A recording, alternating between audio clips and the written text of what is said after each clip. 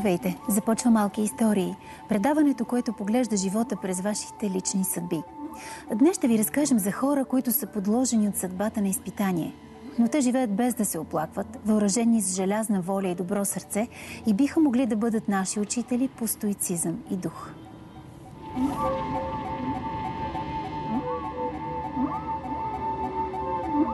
Днес в Малки истории.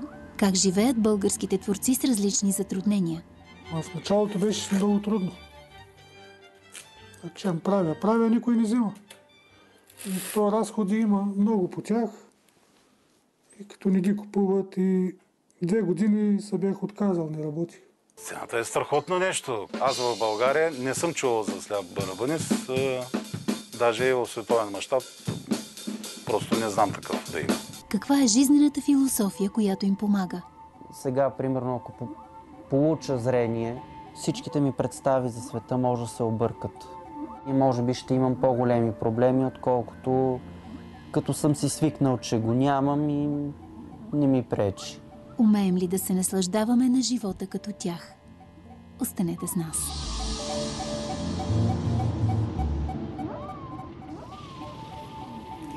Повечето от хората, за които ще ви разкажем днес, не познават отчаянието. Те приемат трезво съдбата си и продължават напред. Въпреки препятствията по пътя, сами правят себе си успешни. Верни на духа на предаването Малки истории, сега ще се обърнем назад, за да си припомним нашия герой Денис. Разказахме ви за него през 2015 година, а днес ще разберем доколко се сбъднаха мечтите му. Нека гледаме историята на Денис. Не си помисли да се откачаш. Готово. Когато бях малък, случваше се децата да си мислят, че слепотата е нещо заразно и гледайте го, то кьора вие, бягайте от него. Обаче аз им прощавах, нали, защото от малък знаеха и мама ми обясняваше, че те го правят не за друго, защото не се говори много за хората с увреждания. След като и, и, и възрастен, зрял човек може да стигне до там, че да задава глупави въпроси на, на сляп човек. Какво да говорим за децата, които, които не са виновни за нищо, те просто не знаят. Аз съм се родил напълно сляп. От съм ослепял всъщност. И ретината ми се отлепила и нашите са разбрали след третия месец, като съм се родил вече, че нямам зрение. И до сега съм сляп. Няма, не е намерено решение на проблема. Но на мен това не ми пречи, разбира се, защото аз съм свикнал и си възприемам свет, света, който ме заобикаля по мой начин. Имам а, много приятели, принципно аз съм доста комуникативна личност. И когато седнем и си говорим, примерно, за въз, различните възприятия за обикалящия ни свят. Те могат да ми помогнат да възприема пространствено света, както те, те го възприемат. И интересното при мен е, че аз не го възприемам много по-различно от един виждащ човек.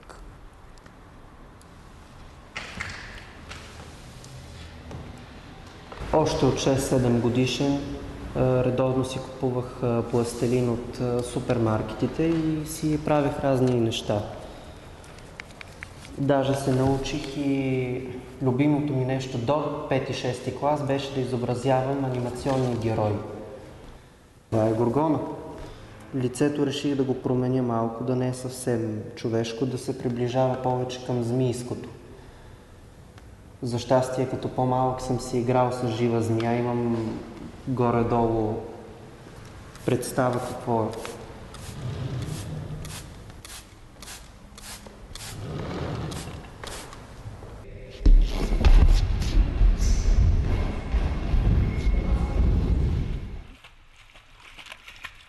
Имам много интереси. Искам да се занимавам с абсолютно всичко. Смисъл такъв, че аз съм прекален перфекционист. Да. Знам, че няма как да бъда най-добър в, и то във всичко. Но все пак да, да бъда от да бъда част от най-добрите. Скулптурата е моето най-любимо хоби. И на мен много би ми се искало, ако можех да превърна скулптурата в своя професия. Обаче се страхувам. Несигурен съм. Не смятам, че бих имал някаква, някакъв шанс за реализация.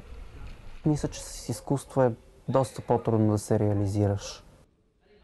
Искам да намеря професия, която, която ще бъде търсена и ще мога да се предложа нали, на, на пазара.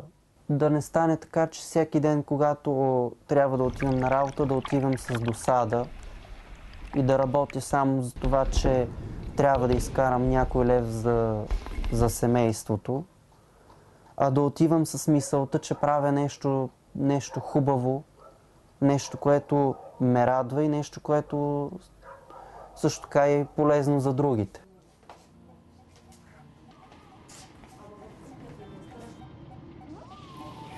Студиото ни са героят на нашата малка история Денис Попов, вече студент специално с керамика в Нов Български университет и неговият преподавател, доцент доктор Моника Попова, която е изиграла значима роля в живота му. Добре дошли!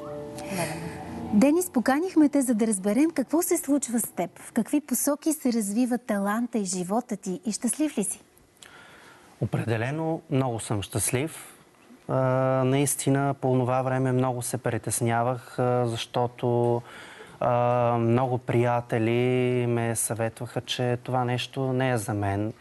Едно, че много по-големи усилия трябва да положа, за да съм наравно с зрящите. Друго, че много хора обръщат повече внимание на финансовата страна на нещата. Но сега определено съм по-доволен, защото като записах в Нов Български университет, видях, че мога да постигна много повече. Видях, че керамиката ме прави много независим и а, се чувствам а, щастлив. Моника, а вие как влязохте в живота му? Ами, когато той влезе в моя живот. Не се познавахте, въпреки не. че фамилиите ви съвпадат. Не. Това е случайност. Съвсем огромна случайност. Макар колкото е случайно, толкова и не. Но с него ме запозна Мария Ландова, великата Мария Ландова. Тя беше направила и филм за Денис Попов. Аз задочно се познавах от филма с него, но в последствие вече. И Мария ни запозна и така. А... Тя Моника даже разказа, че, да, че се оплашила в първия момент, когато е узнала, че ще преподава на сляп човек. Чудила се как да... да, да, това е много интересно как се да. случва. И аз се очудих, че се оплашила след като имах усещането за тези три години и още го имам, че сякаш с лекота го прави. Не е толкова, че се оплаши, колкото че се притесних, тъй като аз никога първо не бях чувала за друг студент който се занимава с и има желание да учи пластика, да занимава въобще с пластика, независимо дали е скулптор или керамика. А, изведнъж този студент, единствен в България, стана мой студент. Така че няма как да няма притеснение, защото аз не съм работила с подобен, подобен тип хора. Разбира се, Денис е различен, но нов български е това е и неговия девиз. Не се бойте от разнообразието. Това е един от първите девизи, които мен ме привлече в този университет. А, така както и аз следвам този девиз, приемам цялото това разнообразие, различие по абсолютно човешки начин. Така постъпих и с Денис. А на практика, как го учите? Например, как го учите да борави с цветове? Налага ли му се? Предполагам, че да.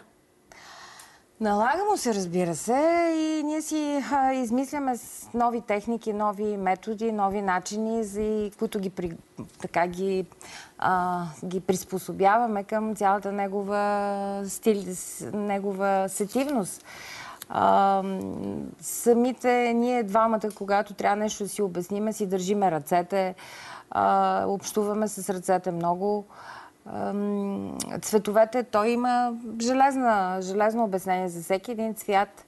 Разбира се, в керамиката поставянето на цветовете става съвсем по старомоден начин, с ръце, с зрение основно. Но той вижда с ръцете си. И толкова много вижда, колкото един зрящ не вижда. Така че, изграждайки си един метод на нанасене на цветовете спираловидно отгоре надолу, след което решихме, че там, където пропускат цвет, местата,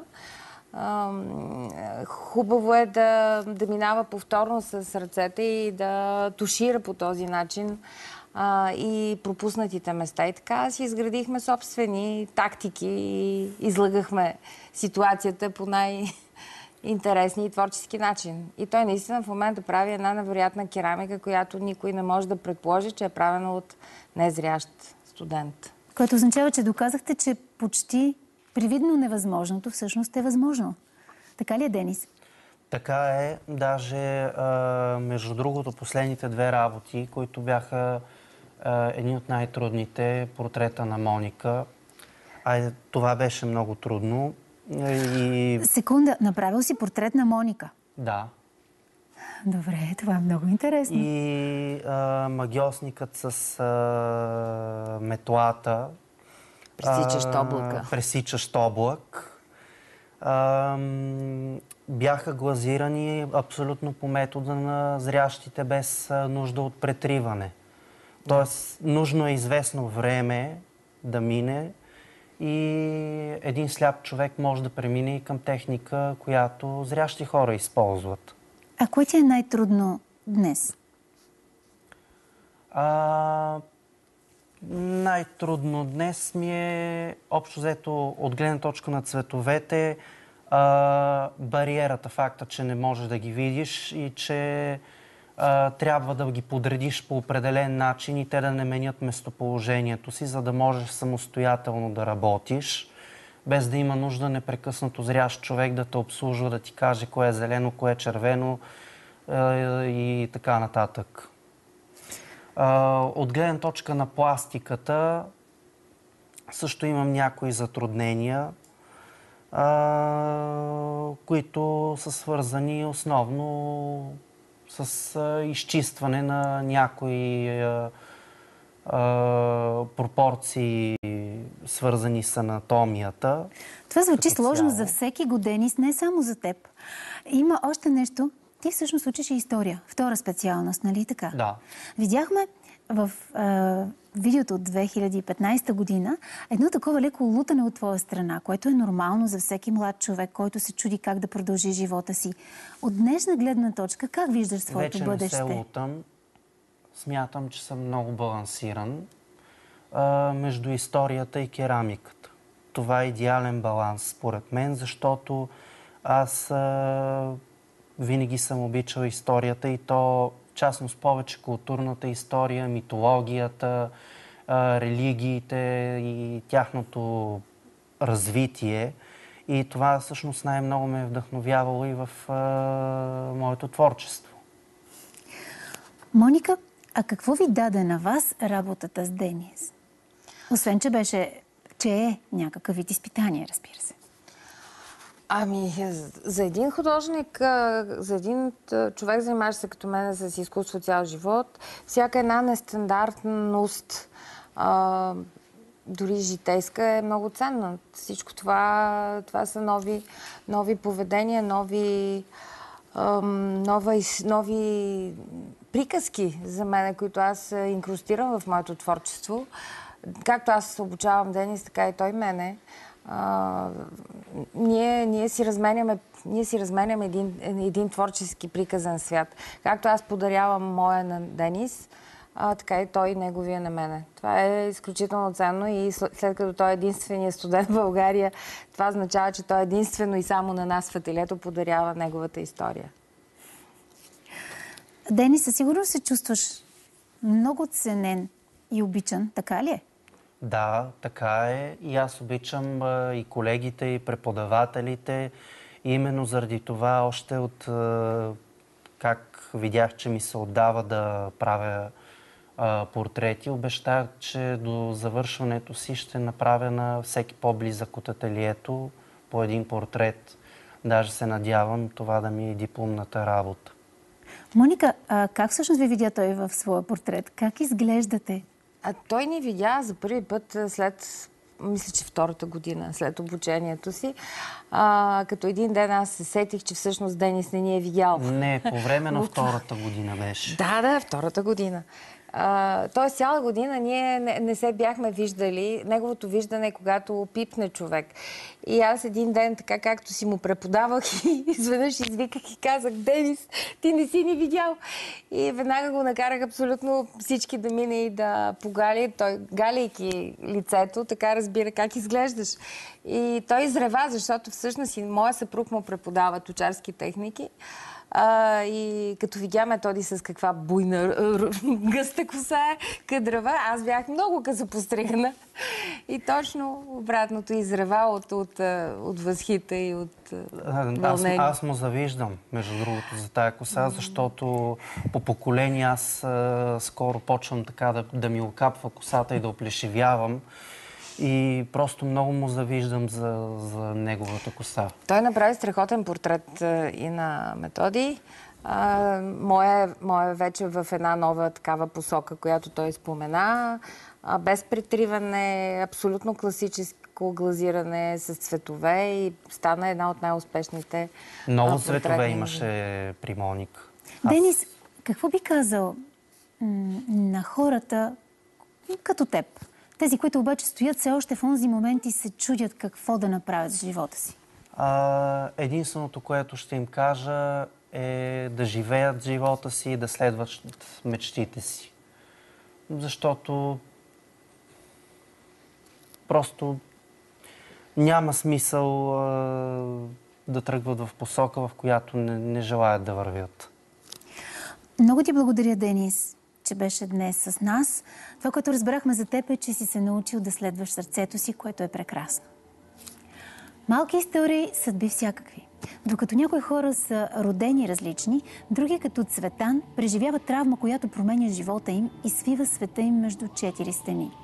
Ако си мечтаял да летиш, как се свиква с мисълта, че никога повече няма да ходиш? И как преоткриваш себе си в посока, в която не си подозирал, че ще бъде твоята? Историята на Цветан.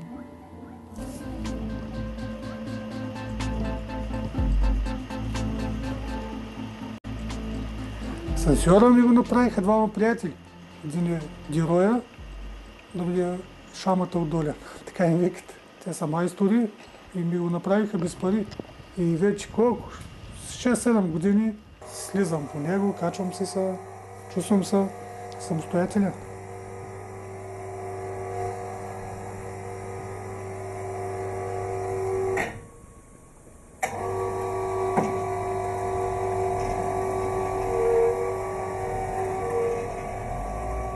Само като ученик съм рисувал в часовете по изобразително изкуство. Ма така да взема да, да занимавам с такива работи. Аз занимавах с, с съвсем други. И имах заведения, после фалирах, после сфанах с дървен материал, един гатер и там тогава пострадах. В гората паднало едно дърво, аз нищо не помня този ден тук върху главата. И шините прешни ли ми са разместили. Травмата ми е на гръбнака на шията. Те първо ме лъжиха, след 3 месеца ще тръгнеш, после след 6 месеца ще тръгнеш да ходиш. Той аз бях като шокиран, то постоянно опоите от операциите, лекарства. И аз се надявах, като минат 6 месеца, една година, но раз, разбрах, че, че няма да стане нищо. Много гимнастика, рехабилитация и постигнах доста неща. Сам да се обслужвам, да работя. И това е. Вече напредък няма. Ръцете си ги раздвижих. Тук въобще не ги движих захвата и сега ми е слаб, ама пак ги движа. Е, сега четката е така, не мога да я държа. Е така, нямам захват, защото от травмата в шията и ма е така държа. То на всичко се намира начин.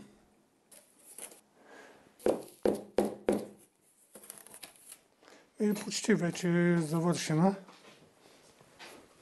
Малко почивка. Е, тук правя гимнастика на вратата, виж. Е така. Първо лявата ръка.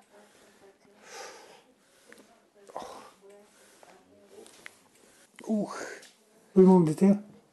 Трети курс е студент по медицина. То тогава беше във втори клас, кога пострадах 2006. И сигурно тогава реши да става лекар, не знам. Заради мен. О, целият гръб ми започва да ми пари.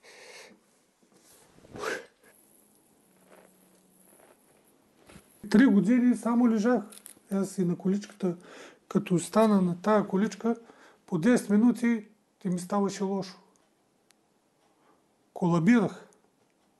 И лежах, мечтаях си, че някой ден се оправя. Ма няма. Ма сега съм добре, чувствам се щастлив.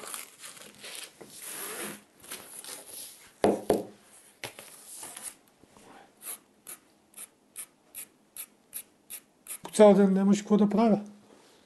И викам, се пробваме. Аз трябва нещо да взема да, да работя. Аз не мога така да стоя. Нищо, че съм в това положение. И така пробвах се и началото не се получаваше. Ама с времето горе-долу освоих техниката. Аз не съм художник, човек на изкуството, не знам какво. Седя ври от пясък. И аз така си измислих името. Да е по-силно. Те даже някакви художници изпитват гняв, вика ти копираш. Има добри художници, имат хубави картини. И аз по техни снимки ги правя с пясък. И те почват да завиждат плегиатство и така. Слагам скобата.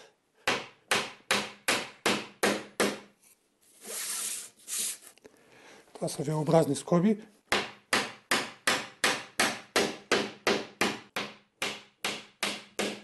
Байтиро Караколев. Той работи в музея.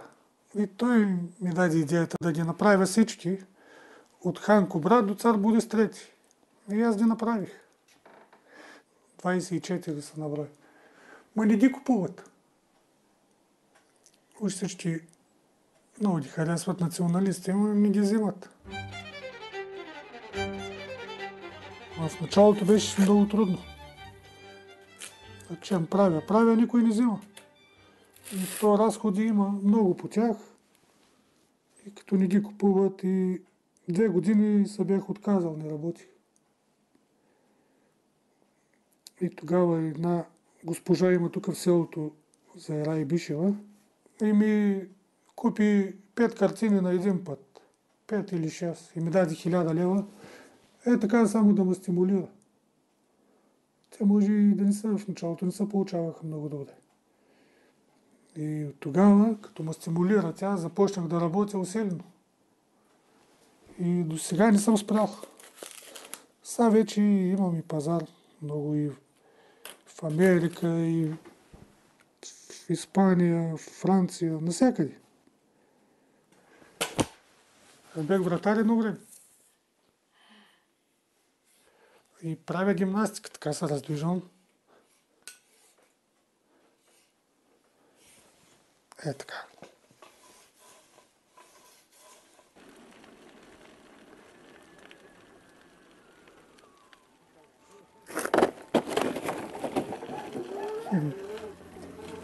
Всеки човек сънува, нали?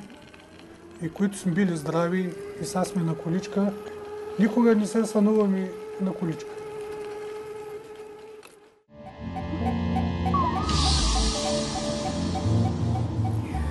Нашето студио вече са Вяра Границка, ръководител на Център за социална рехабилитация и интеграция на хора с увреждания благовещение на организация Карита София, преподавател магистърска програма Арт-терапия в Национална художествена академия София и Национална художествена академия Бургас и доктор по изкуствознание и изобразително изкуство. Тук е и Милена Кънева, режисьор-документалист, наш коментатор днес. Добре дошли. Много хубаво завършваше тази история. Много красиво. Никой от нас не се сънува на количка. Милена, Предубедени ли сме към качеството на творбите на хора с различни възможности? Каква е истината? Истината, според мен, че ние се страхуваме от различното. Много ми беше вълнуващо да видя и моите искрени поздравления, защото творбите на Денис са едни творби на един изключително талантлив човек. Това е артист. Те могат да бъдат показани по целия свят като произведения на изкуството. И даже, според мен, за него ще бъде и странно нали, да го да казват, а той е незрящ художник и хората ще отидат от любопитство, за да видят. Не, той е един творец художник. Дадено му е, той го носи а, по рождение, може би и за това някой път ние сме поставени на изпитания в живота си. А, за мен беше изключително интересно, когато той каза, а, аз виждам, но може би виждам различно от вас. От малка си спомням, че за мен беше тема как вижда човека до мен. Той червеното като мен ли го вижда червено, това, което наричаме зелено, зелено ли е? И, е, и мисля, че е попаднал наистина на пътя си и особено с вас и в Нов Български университет, защото нали, това, че ние работиме и търсиме различието, Различието е темата на живота. Ние в този живот, в този свят, ако искаме да сме еднакви с другите, влизаме в една матрица и няма нищо интересно. Вяра, съгласна ли сте, че не е редно да бъдем снисходителни към творци, които по някакъв начин са различни от нас и не бива да купуваме творбите им от добро сърце, а само ако ги харесваме? Ами, ние няма как да сме предубедени към тези творби, по-скоро не знаем много за тях, защото не се показват. И ако те се покажат без отдолу а, да е отбелязано, че творец е с някакви проблеми или по-различен, съм убедена, че те ще предизвикат същия интерес и ако щете дори пристрастяване, ако щете дори едно любопитство към тази феноменална характеристика, чисто визуална, различна от на останалите художници. Тъй, че аз си мисля, че наша мисия на всички нас, които сме около такива творци, по-скоро да популяризираме това, което те правят. А не и да то бъдем ще бъде лицемерни. в полза на абсолютно всички хора, защото нали, различието не е акцента тук. Различието е в точно тази уникална, така да се каже, визуална образност, която те показват. Но си мислех още нещо. Ще попитам и Моника. Като си има предвид колко енергия влагат тези хора в творбите си, колко градивна енергия, дали пък те не са ценни по този начин? Чрез градивната енергия вложена в тях? Ами да, специално мога да коментирам Денис, защото това е човека различния в моя живот, който аз видях. А, той той ам, впечатлява и той е като мълния, когато покаже цялата си жажда за живот. Всъщност там е огромния му, огромния му позитив към нас, който, с който той ни дарява а, няма човек, няма студент, който влизайки в тези пространства в ателията по керамика в Нов Български, а, да, като види Денис, да не, двойно да не се запали за работа. Това е най-ценното. Огромно, огромно желание да, да живее, да вкуси от този живот, да покаже, че и той може а, и го може по най-добрия начин и с огромна амбиция това да го случи. Той може да работи по 12 часа без дори да се храни, без да пие вода. Точно това се караме с него, защото не пие вода. Просто къса връзка с тялото си, защото се отдава безкрайно. Да, видяхме и Цветан колко е отдаден всъщност и как един стимул, жеста на една жена, отново го е върнал към това да твори. Вяра, вие самата сте завършили художествена гимназия, художествена академия, но много по-късно ставате арт-терапевт и започвате работа с деца, които са с различни възможности. Кое ви бутна в тази посока? Ами, първо случайността беше тази, която даде старта и може би след това огромния интерес, точно като художник, към а, тази тяхна а, уникална визуална експресия, която те имат и може би към себе си едно предизвикателство, какво бих аз могла да им дам, какво бих могла да постигна в посока това да се развие, да се покаже на хората, да бъде за тях някакъв модел на ежедневно преживяване, което аз мятам, че всички хора го дължим на себе си, контакта с изкуството в една или друга форма. А те всъщност имат възможност дори да го упражняват като дейност, развиваща и когнитивните им способности, двигателните способности. Ако пък открием талант, се случват изключително интересни неща. Така че, може би, така, чисто мое личностно убеждение беше, че има място и сила в някаква степен да, да помогна да поведа, ако щете дори любопитство към процеса, как това се случва. А може ли е да се каже, място? че вие сте били и от двете страни на бариерата? От една страна като човек, който помага на други, от друга страна, като визирам в момента това, че има, а, имате частично намален слух, визирам, че разбирате нези, които всъщност трябва да се справят с сложността, да бъдат абсолютно равностойни на останалите. А, абсолютно. Даже а, ролята на помагащ в някои случаи може да ни изиграе лоша шега. По-добре да бъде едно, една комуникация, едно а, взаимно партниране. Тогава ще бъде по-пълноценно като процес. А, за да може наистина да се запази тази уникалност, която не бихме искали, аз съм убедена, че и мои колеги художници също биха се радвали да не я сложим в едни рамки, които така иначе ние ще ги срещнем винаги, но тук се сблъскваме с едни е, особени качества, с едни е, феноменални така, виждания, защо да не ги съхраним, да не ги покажем по най-добрия начин на, на света, на културата, на хората. По този начин няма от какво да се страхуват от различното. Това се явява един мост между нас чисто човешки, който, ако щете едно оръжие, да, да бъдем заедно всички. Тъй като арт-терапията е сравнително нова и до някъде непозната, какви резултати може да очаква един родител, който води детето си на арт-терапия?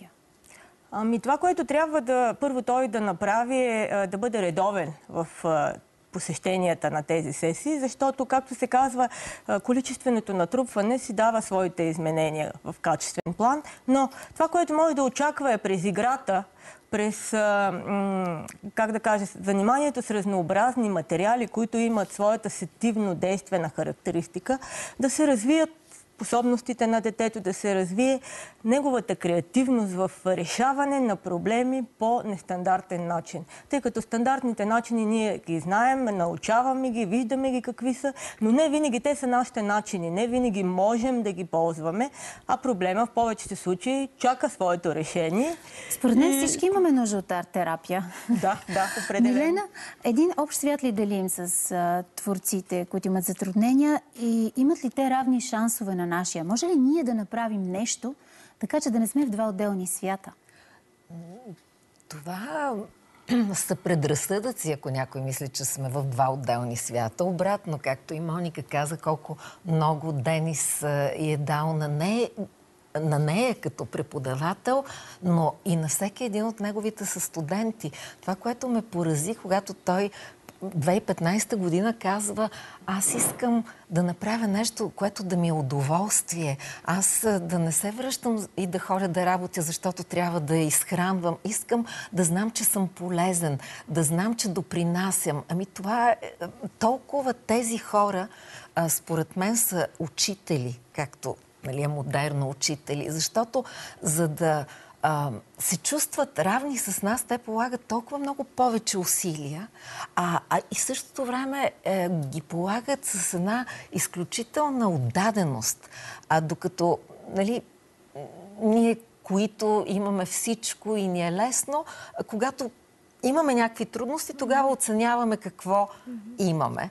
Така че за мен света е един, а, само а, точно темата за предразсъдъците трябва да отпадне и затова е толкова хубаво, че правите тези малки истории. Целта е да се замисляме. Ето, например, Моника, конкретно на вас. Хрумвала ли ви е мисълта, че е възможно някой ден нещо да се случи? Както се случва на Цветан. Пада дърво. Или нещо друго се случва. Минавате в света на тъмнината. И готови ли сме за подобно нещо? Помисляме ли си го въобще? слава Богу, ние тук седящите а, сме свързани с изкуството и това ще ни спаси във всички ситуации. А, това е дар Божий, който и Денис притежава и а, слава Богу, хора в затруднено положение се обръщат към изкуството и това ги спасява. А, нали, всеки избягва тая тема и, и тази визуализация, но ето това е моят отговор. Изкуството ще спаси всеки. Моника, много ви благодаря за участието. Прекрасно се е случило, че сте срещнали Денис и той вас. Благодаря много. След малко в разговора ни ще се включи и оперната певица Кристина Александрова, известна като Ангелогласната. Нека я чуем в отказ от концерт на хората с затруднения. Материалът е от 2012 година.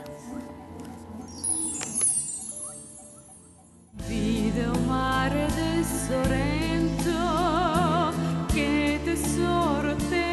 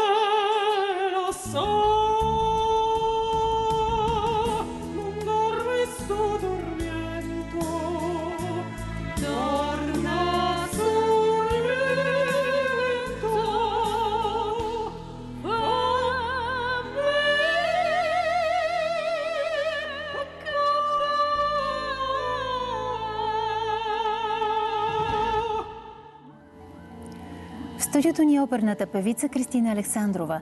Тя е и музикален педагог към Асоциация на родители на деца с епилепсия. Добре дошли! Кристина, разкажете ни най-напред за себе си. Благодарение на кого и какво развихте таланта си? Здравейте! Благодаря ви за поканата. А, таланта си развих още в детска възраст. А, благодарение на моя педагог в училище, Георги Холянов, известен композитор и педагог.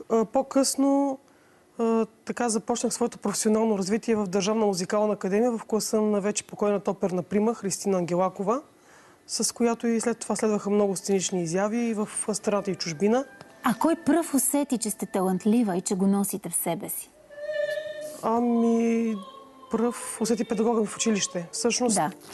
аз много исках да, да се занимавам с класическа музика, но в интерес на истината нямах увереността в себе си, докато не го срещах него в училище, докато той така не ми даде, както се казва, не ми подаде ръка. И всъщност така доста, доста голяма крачка направих първата си изява, защото 93-та година в Брюксел представих страната ни на един фестивал, който се казваше, наричаше Very Special Arts, много специални изкуства и спечелих приза за България.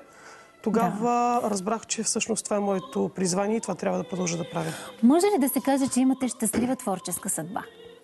Доволна ли сте? Ами все още има неща, които искам да постигна. А, истината е, че аз съм отворена към нови неща. И именно това, което правя в момента в Асоциацията на, на родители на деца с епилепсия, именно педагогиката, ме прави много щастлива.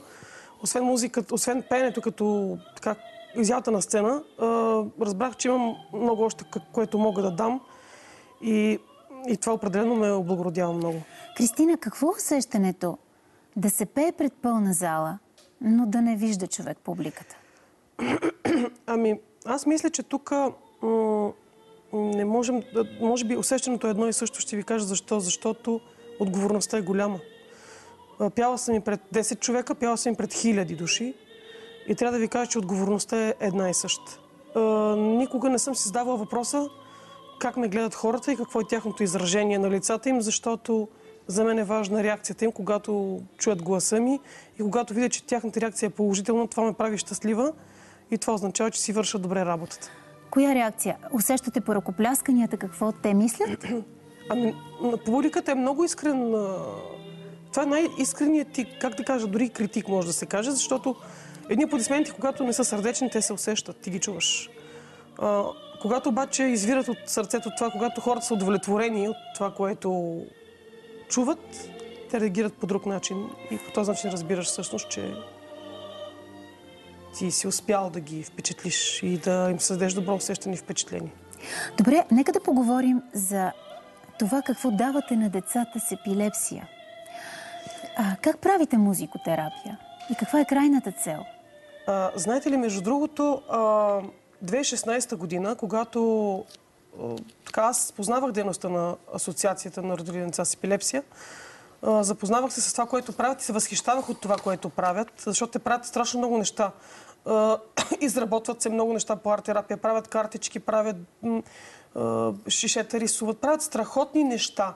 И аз винаги така отстрани, запознавайки се с това, се впечатлявах от това, което се случва. И един ден разбрах, че те си търсят човек, който да се занимава с тях. Аз казах, че ще опитам. Не бях сигурна, че ще се справя. Но трябва да ви кажа, че това, което се случи между мен и тях като връзка, е нещо уникално, защото те имат вяра в мен, аз имам вяра в тях. И с заниманията, които ние а, реализираме и които правим, а, целим да постигнем едно добро, едно самочувствие в самите тях, целим да постигнем една увереност, да развием до някъде таланта им, да, да, да създаваме добър тонус самочувствие и да, ако щете, дори и релаксация. Но при всички положения търсим един положителен аспект на нещата. Вяра, това, което вие правите всъщност с децата до голяма степен, има голямо сходство. Абсолютно, Целите да. ви са еднакви. Точно като слушах колежката, така процесът е еднакъв. Доверието трябва да е взаимно и усещането, че взаимно си даваме нещо е това, което всъщност ни води напред в работата, в търсенето на подходите, които да бъдат точни, да бъдат на време. Различните, ако щете, дори нашето, нашата намеса, как и доколко да бъде, защото все пак, ако поведеш човека, ти го повеждаш по твоя път, а важното е все пак да му дадеш той да си избере пътя, а ти само да го съпътстваш, да има сили и потенциал и вяра в себе си да си го извърви, както и да му се радваш на постиженията, така че напълно така Много хора с различни съпричастна. възможности са споделяли, че техните учители са им казвали, ти трябва да си поне два пъти, три пъти, пет пъти по-добър от другите, за да си равностоен с тях. Вие казвате ли им така? Значи, Вяра? Ами, а, не им го казвам аз, но си го мисля. Моята баба някога ми го е казвала. Знам силата на тези думи. А, ще кажа също така, че а, тяхното постоянство не се губи. То, то се заражда от самия процес, от контакта, от, как да кажа, от положителната материална работа, която накрая се вижда. Тя има резултат, който винаги има обратна връзка с публиката, с хората. Това е много зареждащо. Може би точно това е силата и на арт-терапията, както и на музиката, защото това, което правим, достига до хората и те със своята енергия, одобрение или не, или указания, ни връщат към Кристина, а вие казвате ли им трябва да бъдете няколко пъти по-добри от другите? Не съм им го казвала, но за мен те го усещат, защото а, усещат го и аз съм сигурна, защото се стараят страшно много. При тях всяко едно нещо да бъде постигнато, те полагат неимоверен труд, тройно по-голям труд, отколкото а, един човек, който няма никакви проблеми. При мен, Добре, мен ме радва това, че те го правят с а, желание, а, не, няма отчаяние, няма недоверие, няма, няма така да, да не искат да го правят или песимизъм или така нататък. Те да, това е много интересно, Кристина, че хората, за които днес разказваме, Да. са точно такива. В тях Да. няма отчаяние, Не. няма дори недоволство. Но, Милена, не, е ли пък несправедливо в крайна сметка те да трябва да са пет пъти по-добри от друг? Ама, вижте, те го правят. Аз исках това да кажа, колко е важно. Те го правят, а, защото така го усещат. Го чувстват, Но не трябва да ни се доказват пет пъти повече. Ма не, а, те не смятат, че трябва да се доказват. Те искат да се реализират. Това са две различни неща. Реализацията е вътрешно усещане и то ти носи щастието. Доказването за това, че ще получиш браво отвънка, то е временно и то изчезва. Да. И това те са наистина изключителен пример. Милена, какво можем да направим ние, за да се почувстват творците с затруднения по-самоуверени, по-удовлетворени? Ами да не ги слагаме в някаква ниша, защото ам, аз не ви го споделих, но в а, моя живот имам братовчет, който на 20 години отида да помага на баба си и падна от крушата в селото, където отива да помага и остана парализиран. И остана едно момче с нали, цели е, мечтите си и той видя тогава, нали, това беше преди години, сега нещата доста са се променили, но а, как ние не сме подготвени като общество, как а, а, доскоро ние нямахме специален а, начин да им помогнем, транспорт или пък стълби и най-вече тук в а, нашето съзнание. И когато той а, успя да се включи благодарение на една хореографка в а, група за балет. И те бяха изключително интересни, защото с количките вие нямате представа как танцуваха.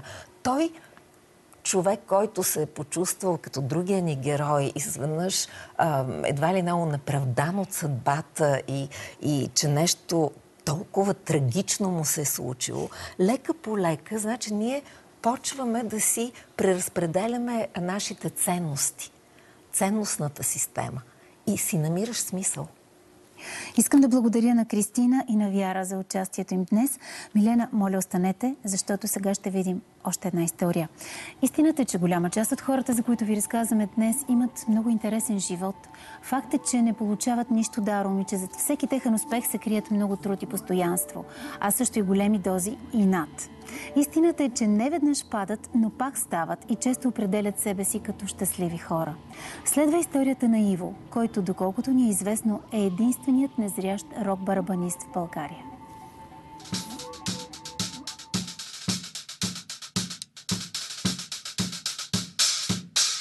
Музиката тя винаги е била в мене вътрешно. Винаги. И ритъма, който аз а, така си го значи, нали, казва се много труд а, и там еди колко си няколко процента талант. Така е, но трябва, трябва да имаш вътрешното усещане за ритъм, за пулсация. Понякога с влак, когато пътуваме, знаете, тудуп, тудуп, тудуп, тудуп. И аз започвам да импровизирам нещо върху, върху тракането на колелетата, на влака и, и така. Да, да.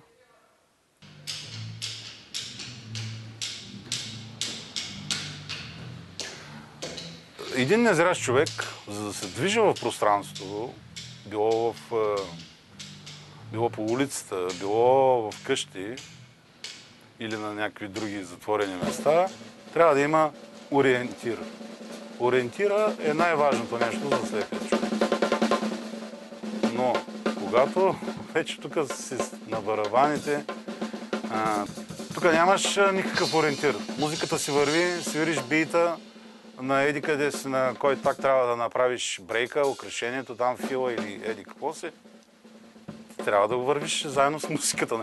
Няма как да хванеш, да кажеш, аха, е къде този том, или пък е къде този чинел, или с- сплеша малкият чинел, да го удариш. Просто свириш си като, както се свири по принцип, нали? като всеки един нормален барабанист, който вижда. Но при мене изглежда имам някакъв вътрешен усет за пространството и а, нещата в пространството.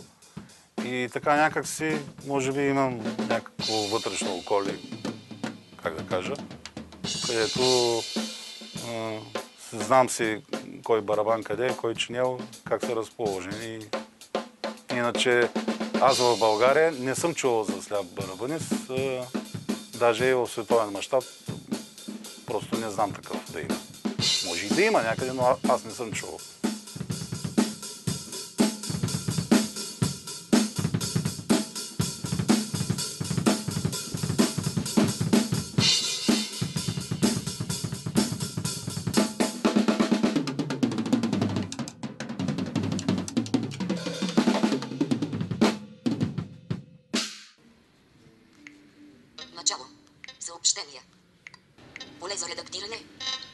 Имам глаукома, вродена глаукома, 54-та година.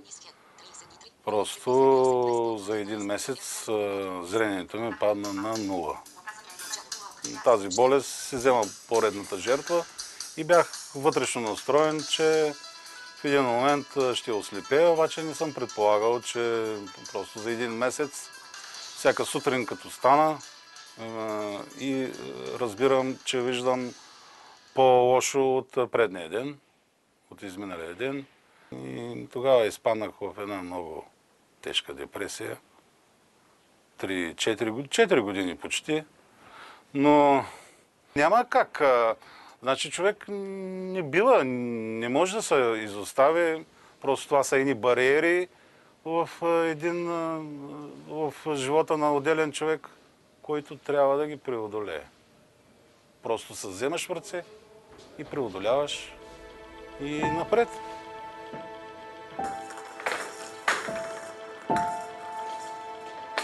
С една обучителка, тя ме обучи да ходя с белия бастун, защото там си има определени техники. И така, лека по лека, се научих от тук до спирката, после от спирката в квартала, който живее, до моя блок и обратно и така. Се научих да ходя с бастуни и вече а, станах по-уверен, независим, най-важното, защото четирите години, които бях а, вкъщи, а, ходех или с съпругата ми, или с майка ми. Ходехме тогава из града, просто, просто ме водеха като куфър. Но след като се научих с бастуна, вече съм независим. И даже и самочувствие придобих и вече тогава започнах да се настроявам, вече като сляп да, да свиря, защото е много трудно.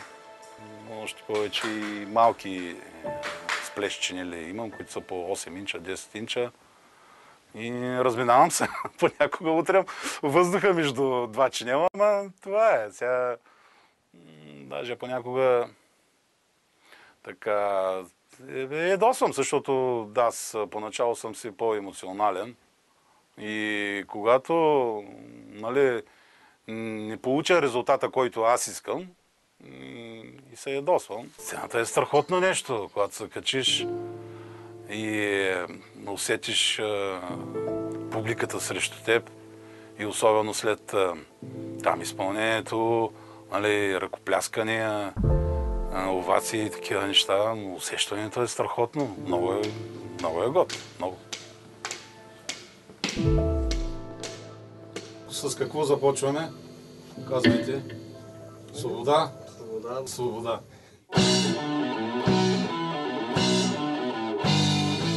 Тази група, която сме сега Акорд БГ, създадохме в февруари месец 2017 година и 2019 година февруари месец влязахме в студио и за 5 месеца записахме 10 неща и като звук, като качество много добър и, и така като музика пипната мисля, че стана добре.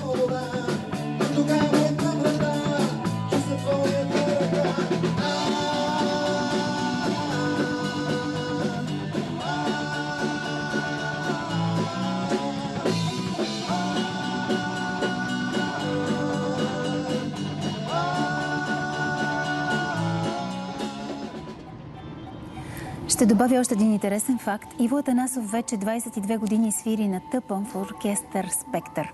По-голямата част от хората от този оркестър са незрящи. Какво видяхме, Милена? Отново не сломим дух. Да, да, това е е, духа. А, аз мисля, че всички тези истории и е прекрасно. Вие ги наричате малки истории, а те са едни толкова важни, огромни истории, защото те ни учат, че а, в живота, ако нямаш дух, ако нямаш воля, ако нямаш това желание да си творец, а можеш да бъдеш творец във всичко, тогава си щастлив и тогава си пълноценен човек. И още нещо ми се струва, че можем да направим като извод. Когато хората се гордеят със себе си, те са доволни от живота си. Независимо дали имат зрителни слухове или слухови или каквито и да е други затруднения. Да, защото те а, знаят, че са реализирали този потенциал, който им е даден. И това, че някой е роден с един ограничен някъде потенциал, той се оказва, че може да го увеличи в друга посока. Защото тези хора са много по-чувствителни. Аз съм сигурна, че за него е било а, трагедия, да. Човек, да. който изведнъж не може да си, отда, да, да си види чинелите или ги удра, но той го е преодолял и е станал а, един човек с още двойно по-силен талант, според мен. Не сме застраховани и живота ни и всичко в него не е даденост. Благодаря ви, че бяхте наш коментатор днес. Аз ви благодарим и на вас, че ни дадохте възможност да споделим с вас днешните малки истории. Следващият петък ще ви разкажем за доброволците от Храна, а не война, които вече четвърта година се опитват да намерят постоянно място, където да готвят за бедни и бездомни хора. Ще ви разкажем и за невероятните шаги на съдбата, които те карат да се ожениш публично за обувките си. Ще разберете защо Венелин мечтае не за лека кола, а за бронетранспортьор за тези и други невероятни хрумки в предаването следващия петък. Желаем ви усмихнат ден!